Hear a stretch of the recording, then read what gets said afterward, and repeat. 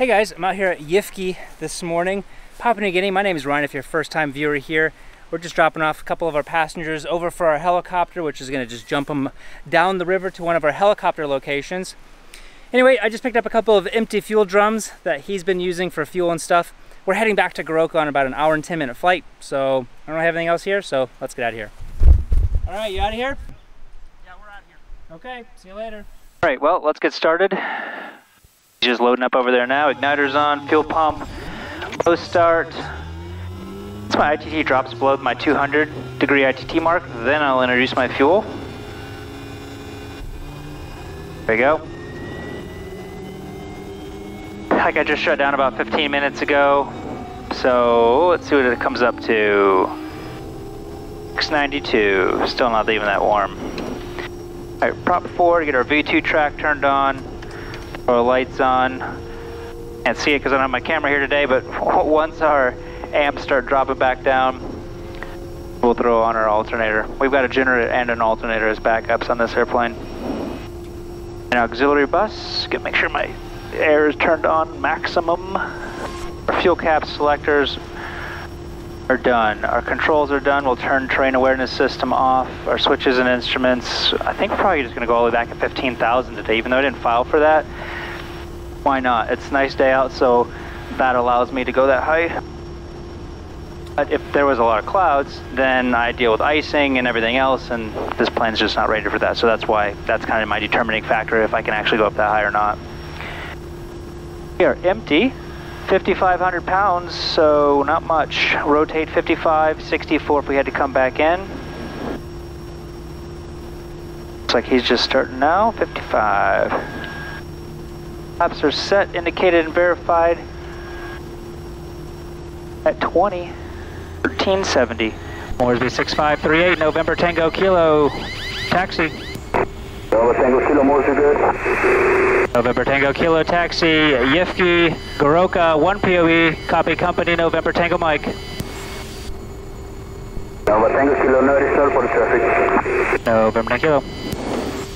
Alright, ignition condition flaps 20 fuel and harnesses 1370. Rotate 55. Lock my elbow in so it's not bouncing around. 1370.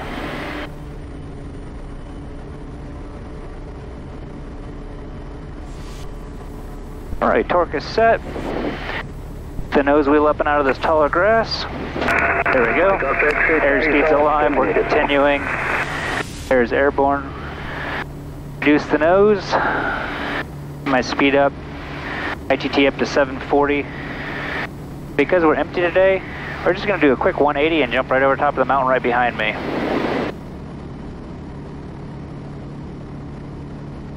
Just climbing out at my 73 knots.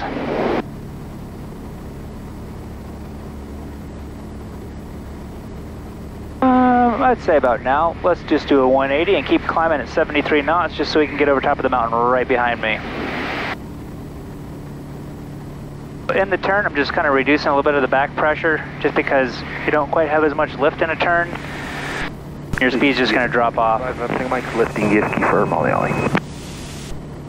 And November Tango kilos in a left-hand turn. We'll be just flying right out the valley behind you.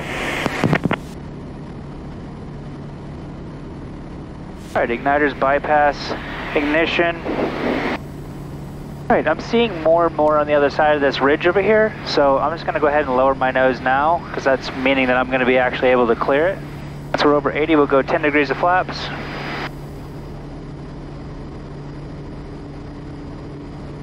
Probably would have been easier to go out that way and then done my climb. That's what I usually do because of these mountains and clouds, but I didn't today. Now I've got to deal with the consequences of just dealing with all the clouds as we go through. All right, well, let's bring our prop back to 2,000 RPM. Guess I'm just going to have to cut out this way anyway. I just can't go IMC right through the clouds um, just because there's more higher mountains behind them. Moresby 6538, November Tango Kilo, departure. 6538, good. November Tango Kilo departed, Yifki time 28, tracking 106 on climb, amended 1 5000, Estimating overhead fire gap 04. November Tango Kilo traffic is OZ 556 C27 Spartan aircraft.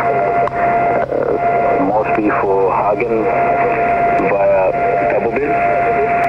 Estimate PUB T0141 on climb flight of 230. Again, estimate 0202. November Tango Kilo copies. Alright, let's just fine tune my prop down to 2000 RPM, my ITT up to 720 for a best climb performance, and we'll pitch for about 100 knots, that way I can throw my autopilot on. Got a restriction right at 100 knots. And looking ahead, I don't even know if 15,000 is going to work, just because of those clouds right there. I don't think it's going to get me over it. Oh, actually, I'm not going that way. I'm going this way. Never mind. I would have liked to shoot a little bit more on-the-ground content today, but I've still got another flight after I get back to Goroka, so I kind of wanted to get in a hurry. If you guys do like the on-the-ground content and you'd like to see more of that, check out my Patreon page. I've got a, lot more on, the, especially Yifki. They're building a school there. It's very exciting to see the progress starting to be made now after kind of seeing it, you know, in fruition for now for like a year. So anyway, if you guys want to see more of that content, check out the link down below. I think you guys will enjoy it. I'm guessing still it's probably going to be easier just to stay low. Yep, Mosky 15,000, let's do 11,000. It's probably going to be 9,000 for a good portion of it anyway. So it'll be a little bit more interesting anyways other than just 15,000 for you guys. Basically, I need to head that way up this Lagaip River and following the biggest part of the valley. That's going to give me my best option to get back where I need to. Um, it, does, it does look like there's a lot of clouds up there, and I can't really see around the next corner. I see a bunch of rain starting up on these mountains. I can't see around the corner to see what it's going to be like for the next portion of my flight. So because I've flown this route so many times, I think I'm just going to level off at 9,000. I'm already at 10, so let's go on back down to 9,000. Because I just know that once I get around this corner, all the clouds are probably going to drop back down, making it difficult at 11,000 because my minimum safe, if I do want to go through clouds, is at 13,500. Now that we're kind of on our descent back down to 9,000, let's bring our torque on back to 1250 for our cruise, putting a little bit of left hand or, or left rudder pressure in there while we're doing it. Moresby 6538 November Tango Kilo. November Tango Kilo, most good. November Tango Kilo, now amended 9,000 due weather. November Tango Kilo, amended 9000. No additional reported traffic. November Kilo. November Tango Kilo, when convenient, request an estimate. Beam Hagen. North of Beam Hagen, 04 next hour. November Tango Kilo. Right, so my plan of action is basically where all that light area is, that's where I'm planning on flying. I'm flying around this corner right here because you guys can see all of these clouds here, they're kind of coming out. That's the same ridge as this area right here. So all the clouds follow the terrain here in PNG. So if you can remember how the terrain is and know where the valleys are and typically how they work together, then your life flying here is so much easier. Because as I could just fly up to 13,500, I could get on my IFR track and just fly that way. Typically, if there's going to be rain, there's probably going to be a little bit of icing, even up in those levels. Probably, that's usually more, closer to like 14,000. I mean, at 9,000, I'm at 13 degrees Celsius, so maybe not today.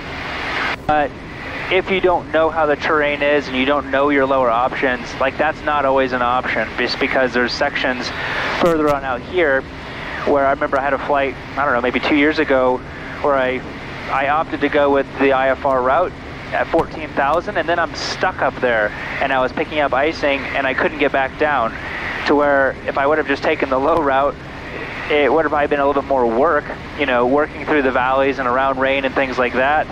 But then I wouldn't have to be sitting up there worrying about picking up icing with only pitot heats on the plane. So if for some reason this whole valley is completely covered in rain, I doubt it will be, then I can go up to my 13,500 and just go through it all.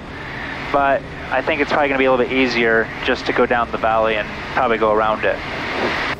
You guys can see from the terrain map, it, it doesn't give you much. I think the ground comes all the way up to 8,000 something through here, and I'm only at 9,000. So there's only a little section right here, but it's pretty tight in that area as well. So if anywhere the weather's going to be building, that's where it's probably going to be building is in that section right there because the clouds are lower to the ground. Already looking ahead, it looks, looks like gray rain up there. I'm not going to freak out yet because, I mean, it is such a small area. There still might be an area off to the right-hand side.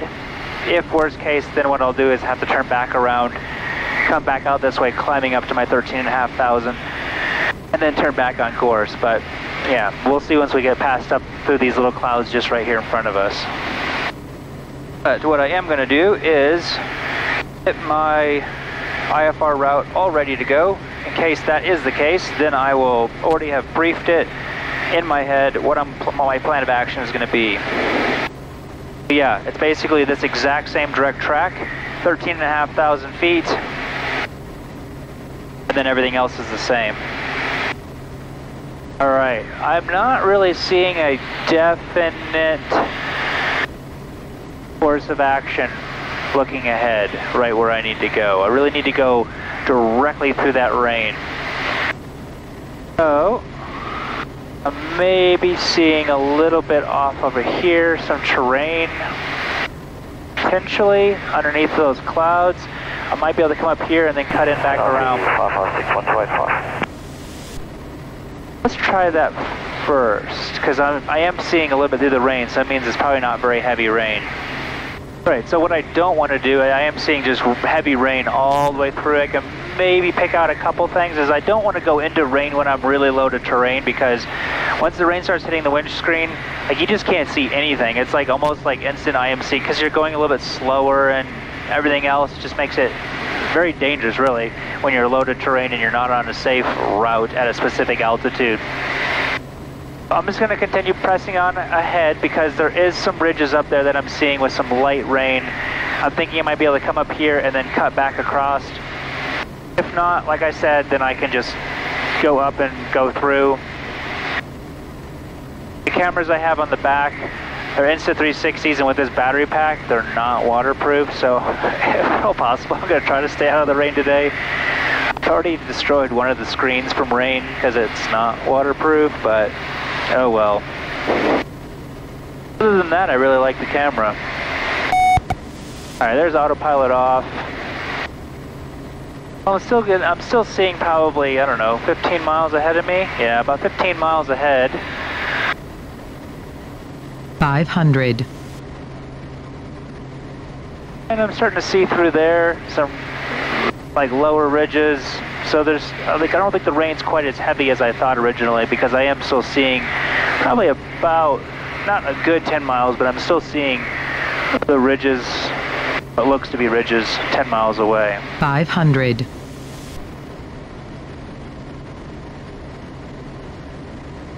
Well, the clouds are a little bit higher here, so I'm just going to slowly work my way up just to give myself a little bit more terrain separation as I'm cutting through over there, just because, I mean, the terrain is nearly, let's see, what is it at?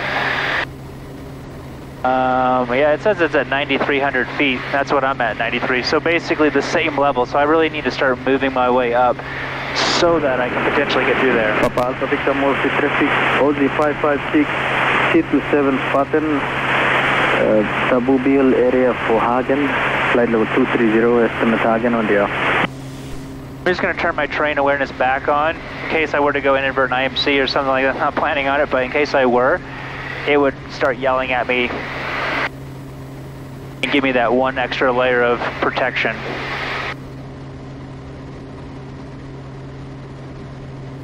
Looks like an old airstrip down here at one time. I wonder if that's Wallbag. All right, yeah, now I'm seeing a little bit more up there. I think once we just get out of this rain in the next two or three miles, then we'll actually, the clarity is just going to like 10 Mike Mosby. All right, well, it looks like, or this is kind of the end of the rain right here. should clear up here once we get up to the ridge. OZ 5. There we go, now it's already clearing up. Up over this ridge.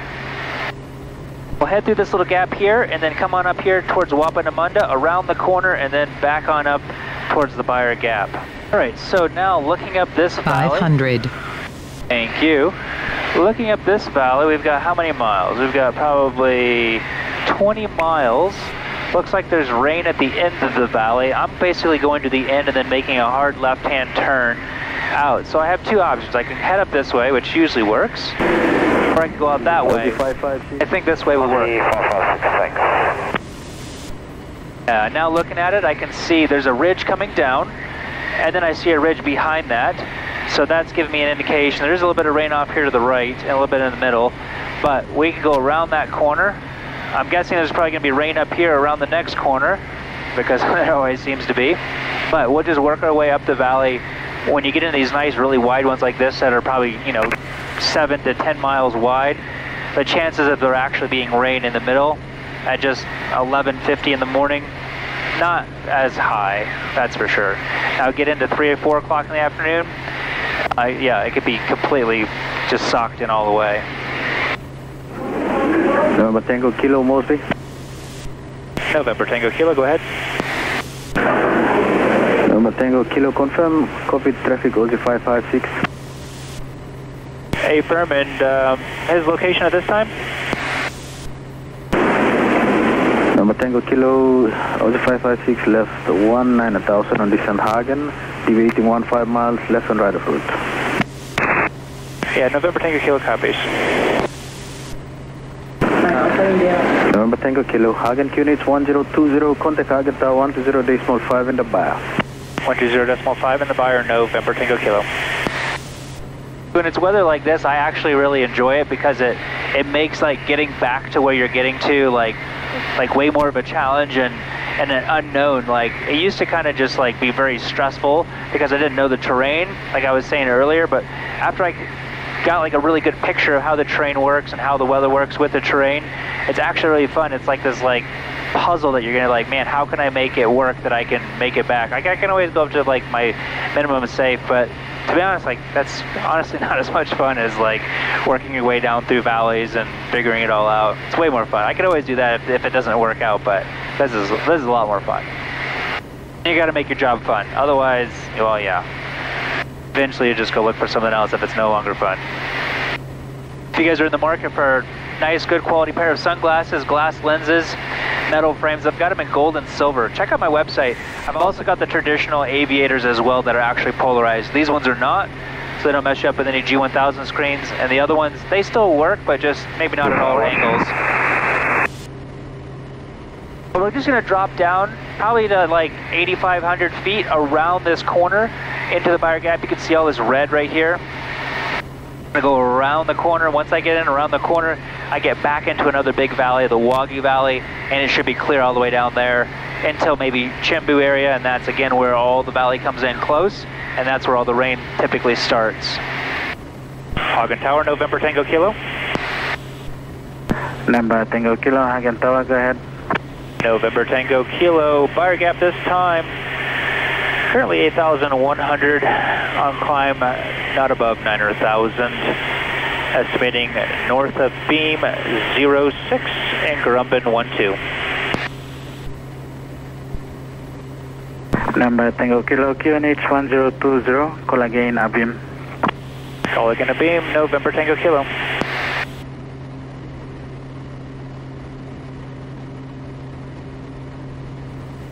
All right, so here is the the Wahgi Valley. Like I was saying, it's just going to be completely wide open. Uh, Hagen Tower, November Tango Kilo, north of beam. This time, Garumban 1 2.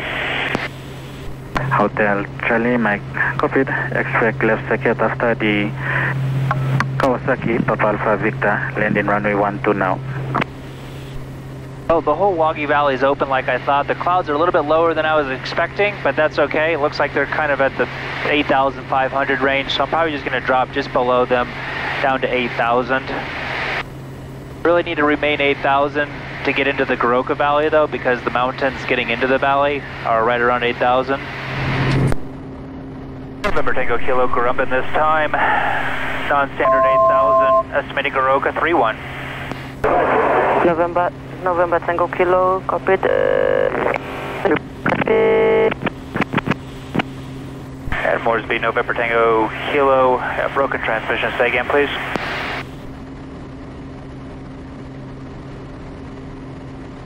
Let's try him on the number one radio. Moresby 120.1, November Tango Kilo. Moresby 65908, November Tango Kilo.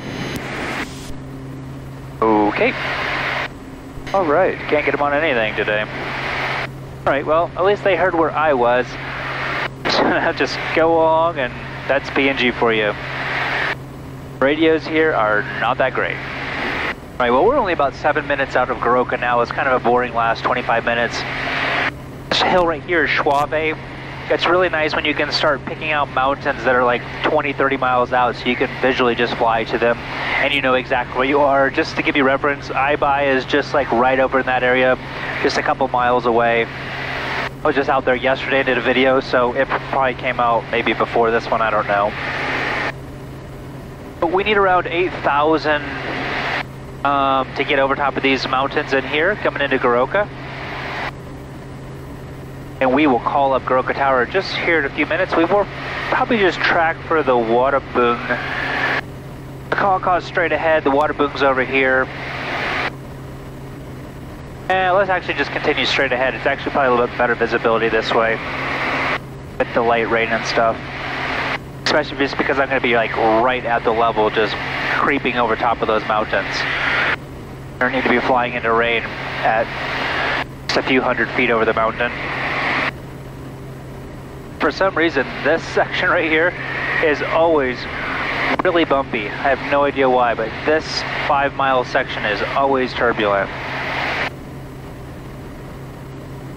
Crook Tower, November Tango Kilo. One five miles to the west, 8,000. Your circuit now 3-3. Tango Kilo, Crook Tower, Gray. Uh, runway 35 right. Jump number 2, landing sequence behind Syrian the Hotel, long range helicopter uh, from the southwest. 7,000 and descend, Goroka estimate 30 via the Coco. Uh, wind is light and variable, QNH 1018. 10 seconds on a left downwind, report left down. 1018, join uh, and report left out 135 right, copies here in the hotel. November Tango Kilo. Our fuel selectors, brakes are good. Our TAWs, we're just going to turn it off for, or turn it off for a second because we're going to go right over this hill. Uh, Delta Alpha, hold it shut, uh, one turn right. We're going to be landing 5,100 pounds, so 61 down, knots. I'm just going to come in at 70. I'll float a little while, but that's okay. Just coming up over this ridge. I'm going to start slowing down now. Able to track for the Copter Gate West and allow Sierra Delta Alpha to depart. Hey, let's start pulling our power now, just nine miles out, just because I'm going to be going into this. Sierra Delta Alpha helicopter will be tracking uh, for the west, uh, reporting Copter Gate West for your departure. And uh, uh, November Tango Kilo, you have to report left downwind. Uh, 17 right, make a right turn, clear for takeoff. Uh, one turn right, right turn clear for takeoff. 500, Thanks, Sierra Delta, Sierra Delta Alpha. Sierra Delta Alpha, November 8 Kilo, just passing through the Waterboong and will remain to the north of your track if you go through the call call.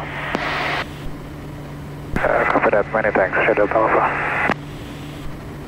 Right, lights and inlets are done. If we have to go around, power up 20 degrees flaps, pitch for 12 degrees on the attitude indicator, maneuvers required, reset our ICT Sierra to 40. Hotel is at Copter Gate West now and will pass behind Sierra Delta Alpha for neutrons. You're a pilot, student pilot, you have your own airplane, or if you just rent airplanes or whatever, or if you're a flight sim and you'd like to pick up one of these, I've got a backlit as well as just the standard one like this one with that is not backlit. For piston, for like complex piston, multi-engine, like 152s as well, and then as well as one for a turbine. So I've got those on my website if you're interested in picking one up. They just Velcro to the dash, or you can also um, drill a hole in the back and just put a GoPro mount on it, and you can mount it other places like underneath here. I've done that before as well, but anyways, just wanted to throw that out for you guys. I found it to be a really handy tool to keep my eyes up and out and cover all my critical items. Be able to bounce around if need be and not have to worry about a paper sheet and missing items, you know? Or having your head down. November Tango Kilo joining left downwind, up Sierra Delta Alpha in sight. November Tango Kilo, copy that. Uh, behind Sierra Delta Alpha, runway 35 right, clear to land. Clear to land, 35 right, November Tango Kilo. Alright, we're shooting for 90 knots here. We're just now at pattern altitude, so it's still a little bit high. Kind of entered in a little bit high. We're going to be coming in at 70 knots, so I'm planning on floating for a little bit further than I normally do, just because I'm adding on 9 knots, turning base now. A little high, so let's just go full flaps now. Checklist is complete. Just because you normally turn, do flaps at turning final, doesn't mean that you can't do it early if you have to lose a little bit of altitude. Also helps you slow on down. Now we're going 80 knots, which is what we're looking for for our base. Turning final 5600. Uh, Sierra Delta Alpha Tower, uh, just be advised, uh, most be VHF frequency, HF also down. Uh, 500. give it a Try, if no contact, remain on this frequency. Uh, copy that, Sierra Delta Alpha. There you go. Moresby's HF is down, and I think it went down on my call. Right. 400 feet per minute descent now. It's going to increase here in a second because I'm going down. There's 500. There's about 72 knots. Tiny bit faster than I wanted. Just start slowing my power out now, just to start so I don't float quite as far.